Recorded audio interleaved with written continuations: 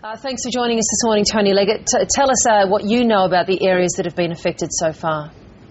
Uh, good morning. Uh, the earthquake was recorded at around 10 minutes to 4 a.m. Eastern Standard Time, just to the south of Samoa, in this area here.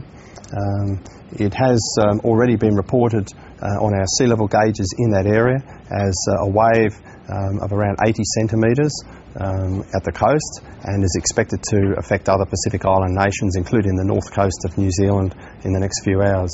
Looking at the energy, sorry, no, no, go on. Uh, looking at the energy map of the uh, tsunami, this is from our modelling. We would expect that most of the energy will move away from Australia.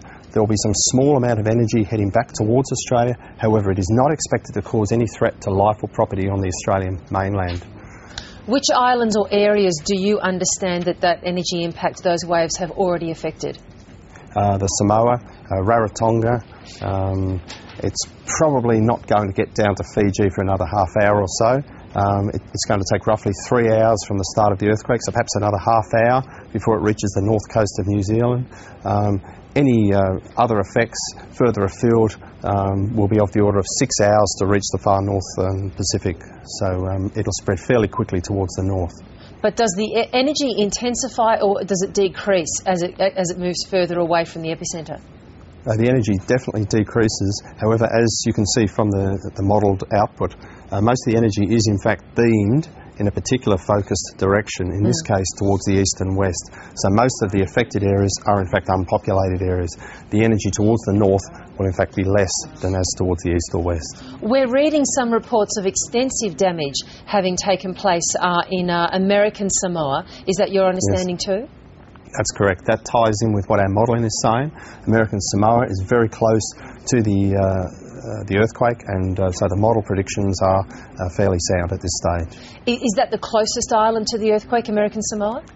Uh, well, Apia itself is the, the capital of Samoa. That's closer, and uh, Pago Pago is in fact um, just a little bit further towards the northeast. Now, do you know about the nature of the warnings that would have been issued from, uh, from your body, from your organisation to those islands? Um, Australian Tsunami Warning Centre only issues uh, warnings for the Australian mainland and territories. Uh, for those offshore, for those islands in the Pacific area, the Pacific Tsunami Warning Centre in Hawaii is responsible for that, and they are um, issuing watches and warnings for most of those Pacific islands. You say that the wave that was initially generated was 80 centimetres. To most of us lay people, uh, that sounds uh, very little indeed, but what's Yes. the real impact of that? Um, it's not a typical uh, wave that you'd experience down the beach, uh, Virginia. The wave would have quite substantial momentum and would hit with, with tremendous force.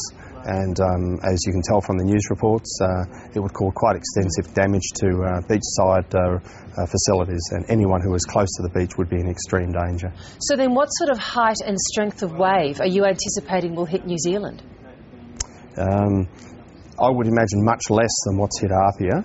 Um, the American indications are they're around um, half a metre or less, so um, it's, it's far less uh, damaging in that region. We're hearing reports that, that uh, around New Zealand the, uh, the tsunami alert has gone out and people are trying to get to higher ground. So, by your estimations, how, how high will that wave hit when it comes to the coastline of New Zealand?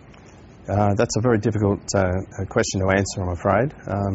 When a wave like a tsunami reaches a bay, as you'd expect to find in the north coast of uh, uh, the North Island, uh, the waves can amplify quite dramatically, or they can in fact be uh, reduced in intensity. So um, I would I would emphasise that people should move away from the coast in those areas if that's what uh, they're advising.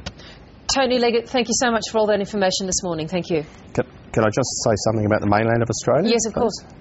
Um, if I just go back to the energy map uh, for a second, um, it, it's unlikely that the uh, it's unlikely that the energy would come across the mainland Australia and cause any significant damage. However, from around 10 a.m., I would expect the, the New South Wales and southern Queensland coast to experience some unusual sea level rises and currents. So people should be aware of that if they're in the water. So, that could actually change the nature of the currents around those areas? Uh, yes, that's right, it could. Um, it's going to uh, uh, occur for several hours this, uh, today, so probably straddling 10am through to mid-afternoon, so I'd be very cautious if I was going in the water. At this stage it doesn't warrant a, a warning for those areas, Mm-hmm. as, as I said, most of the energy is moving away, but it certainly will be measurable on our gauges. If you're experienced and comfortable in the sea, if you're a surfer or someone who had a boat, would there be waves that actually could cause you some problems? Uh, no, it's more likely to be people who are standing on the immediate beachfront, or if you're on a jetty. Um, sudden sea level rises can cause um, people to get disoriented and fall in the water or Yep. get knocked off their feet. But if you're in the water on a surfboard, it'd be unlikely to cause a problem if you're an experienced surfer. Tony Leggett, really good to talk to you. Thank you very much. Thank you.